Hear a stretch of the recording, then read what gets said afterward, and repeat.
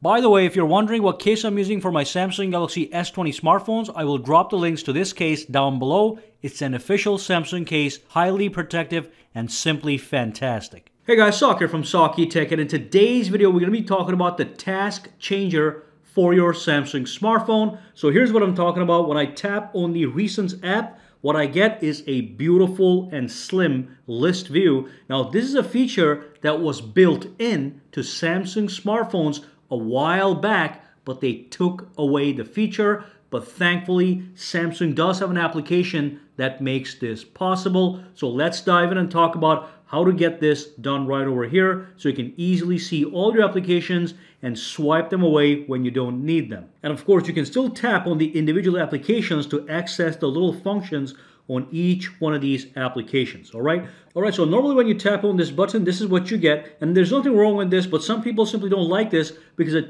takes too much space and you have to scroll through all of them to see what's happening, all right? So that's why a lot of people used to prefer the list view, and of course, when they saw this in my video, in the last couple of videos, people are asking, how are you doing the slim list view, all right? So all you do, the first step is go to the Galaxy Store, and some of you guys may already know the answer to this, but what you need to download is you need to download the Good GoodLock application, all right? So you search for Good GoodLock application in the actual Galaxy Store, not the Play Store, and then you download the Good GoodLock application, you open the application, and what you want to download is you want to go to the unit and download the Task Changer application. The first time you tap on this, it's going to take you to the store. Boom, you download that and install that. Then you go back into it. Let me just go back into it. And then you tap on it and it's going to take you to the task changer menu. Now what you have to do over here is you have to tap this button and then you pick the layout type slim list. And that's when you get this beautiful little slim list. Now I do want to let you know that there's other things you can do here as well. So if you tap on this one, you also go to the stack view, which gives you this view right here, okay, uh, which is not bad at all, uh, but not too different from what you already have. You can go to the list view, uh, which gives you a list, but they're a little bit larger, so you can at least see the preview on each one of them. Or you can go to the grid view, which is what, which is this one right here. And if I tap it again, I can go to the uh, this one right over here. So when I tap this one, look at that nice little effect, all right?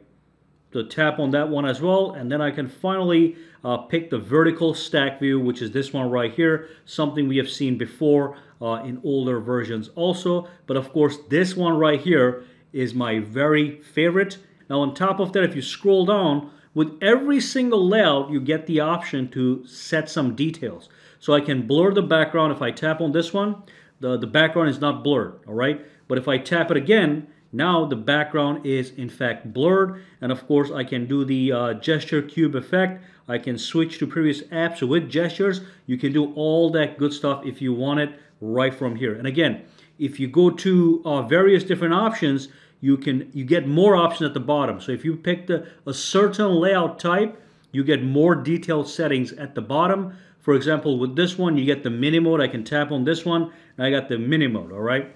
Uh, if you don't do it, you get the maximum mode. But of course, I'm going to stick with this one right here. And I know a lot of you guys are going to prefer this one as well because it makes it very nice, clean, and easy. All right, if you have any questions, comments, or concerns, drop them down below and let me know. And for now, guys, have a fantastic day, all right? All right, so if you found this video useful, make sure to subscribe to Saki Tech by clicking that button and also click that bell icon on the side to make sure you get notified every time I upload a new video.